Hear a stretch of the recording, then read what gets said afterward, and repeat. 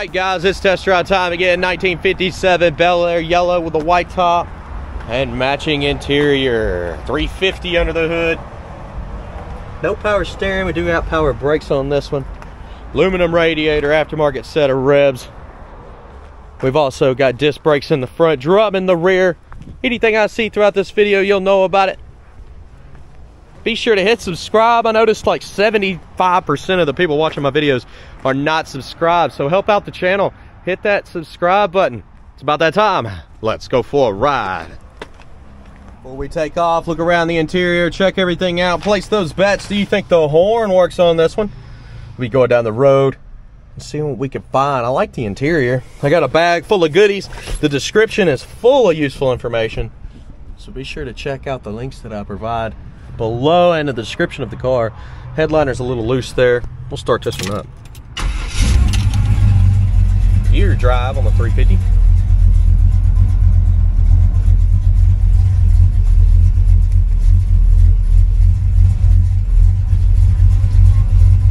Does the radio work? Yep, does. Blower motor. Ah, a little stiff switch. Wipers. Uh, wipers need, look at that, switch is loose. Wipers need a little help. We'll get some gas. Engine temperature on this is not right. It is here, coming up. Place those bets, you think the horn works? We're gonna be trying it out. It does, let's hit the road. See how this one runs a drive. Okay. Let's go ahead and roll out of here. Gotta stop by the auto parts store. As you can imagine, it's a daily spot for me.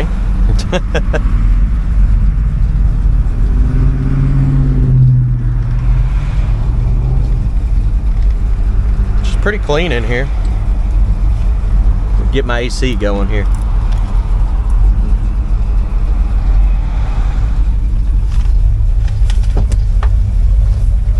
There we are. Time to roll.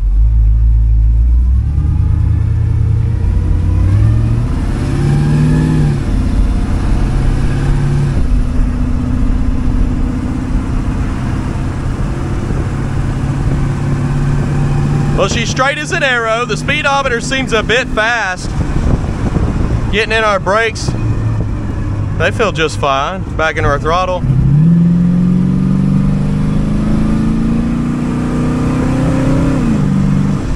Man, that sounds great. Kick down's hooked up and the steering is tight. As soon as I turn, it turns. What a good start to this video. Uh, I've had this car running for about 10, 15 minutes now, sitting in the parking lot, just checking the temp. And it's nice and hot outside. We're sitting at 200 and staying at 200, so we should be good to go.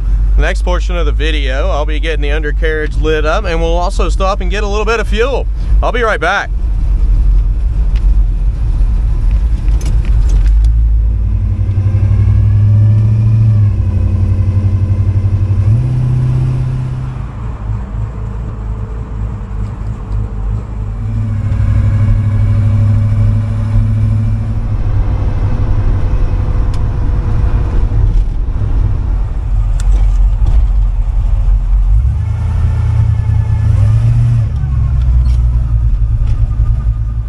All right. So I did. I put about five gallons worth of fuel in this one. I run 93 octane and everything. Literally everything. Any vehicle. I never I never use 87 ever. But there's your gas cap.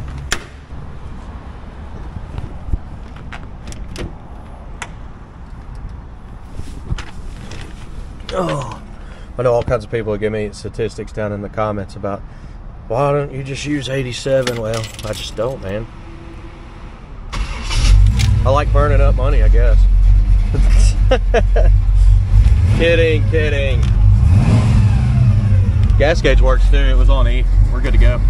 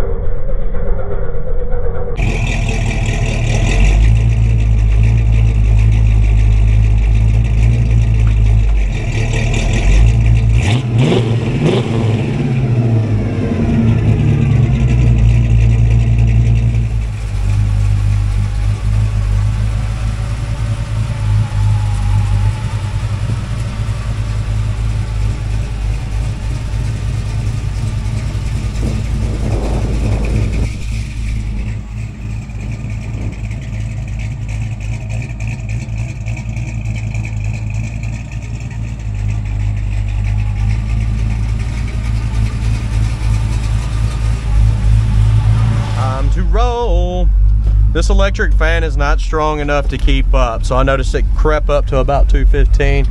And if I get to moving down the road, it'll come back down to 190. What it needs is a fan shroud put around the electric fan that is in place and it should be fine. I don't think the fan itself needs to be replaced. It just needs some kind of a shroud to help pull some of that air through. Um, that's the only thing that I've noticed. Otherwise, this thing runs and drives great. You know, power steering would be nice but we don't have that.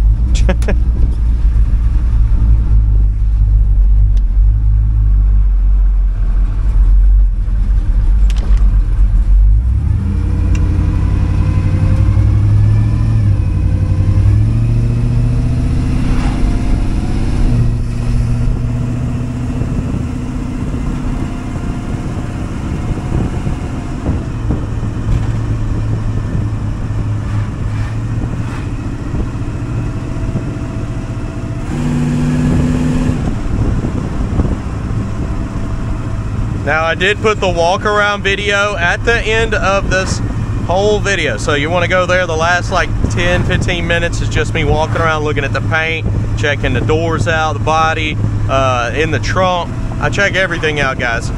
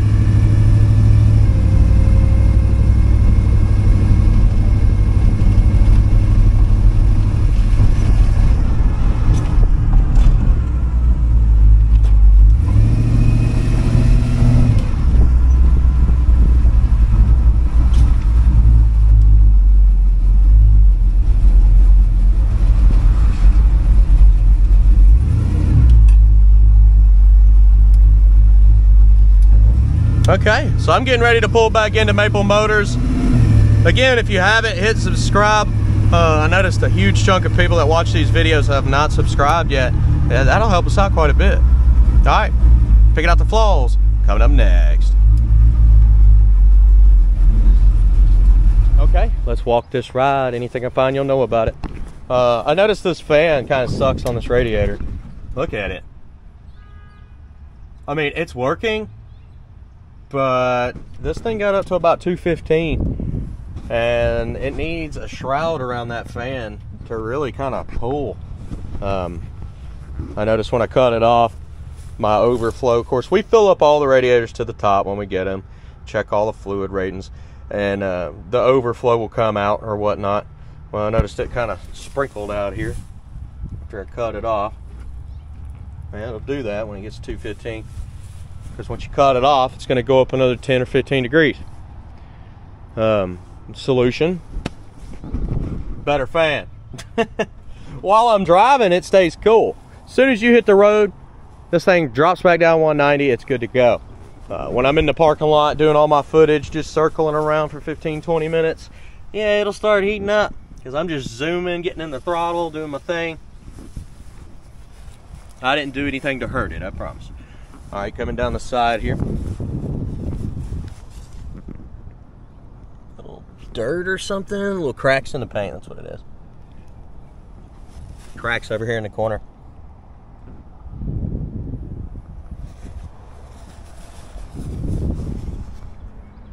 Chrome looks good on the back.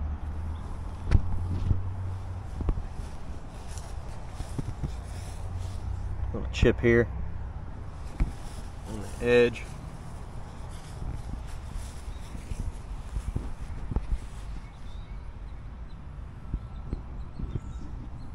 crack there.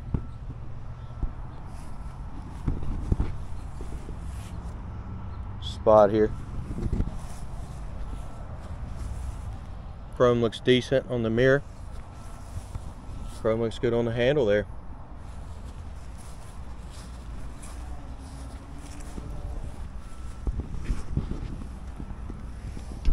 Spot in the corner.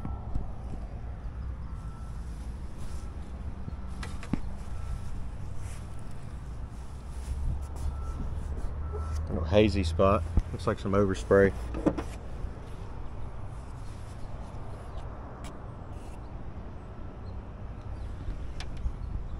Back window on this one's pretty clean. Glass looks good.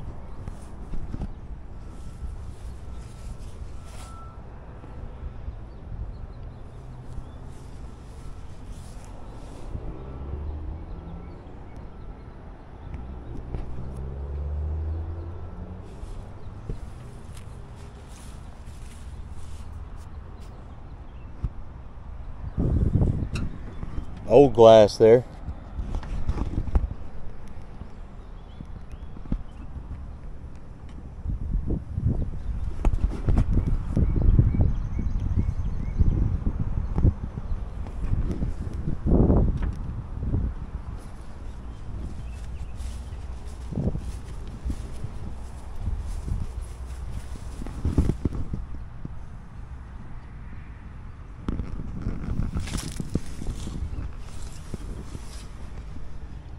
Cracks in the door.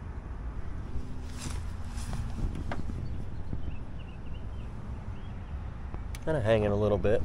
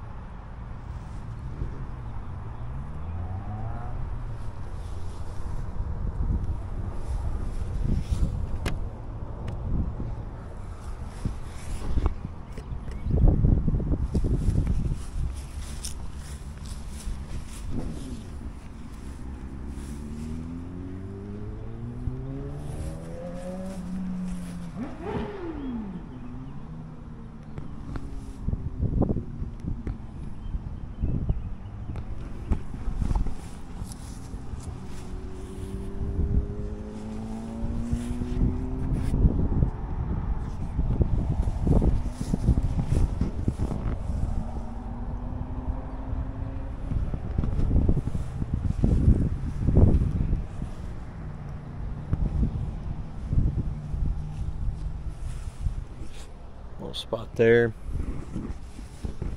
Again, some old glass on the front here. Chip up top.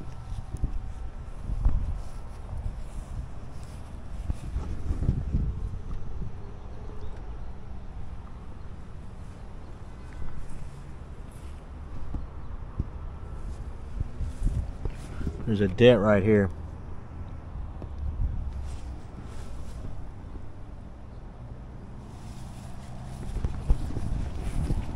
On the back bumper.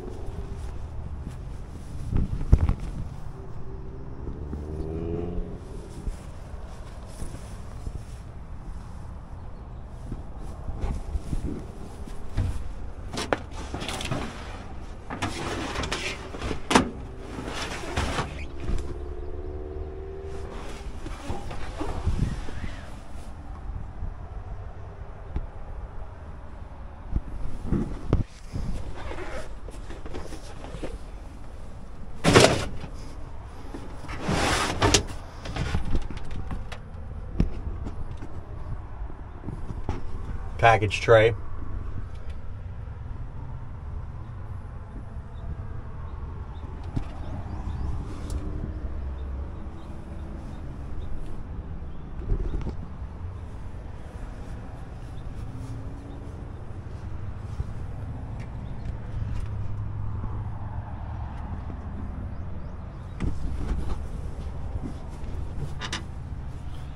Couple little chips on the edge there.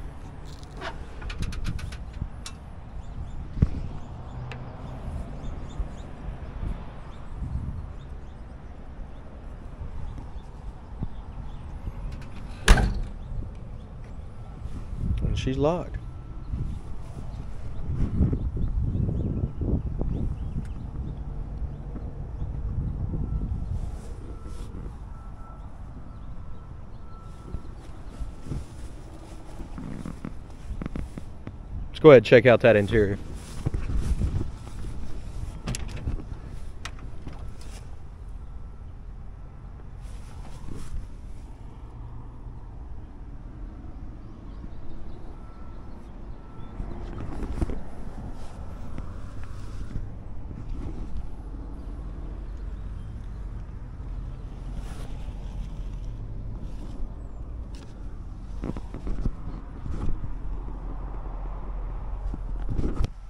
Kind of squished down there and needs to be filled back up.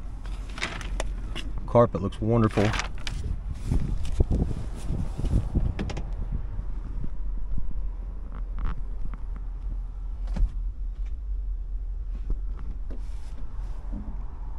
Headliner's kind of wrinkled.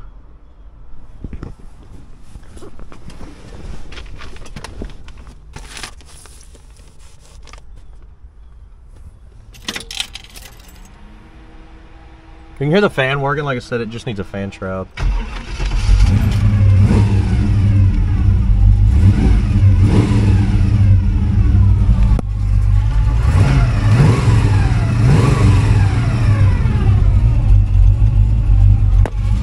Oops, sorry.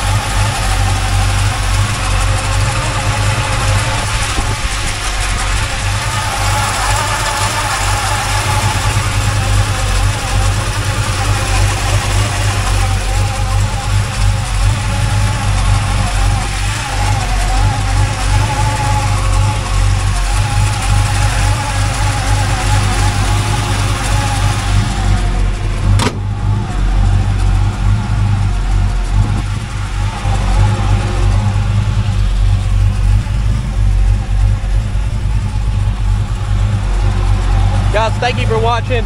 Detailed pictures, financing, and shipping is available at maplemotors.com. Be sure to hit subscribe. That's going to help the channel. I try to be as honest as possible so you know what you're getting before you get here. I'll see you in the next one. Later, guys.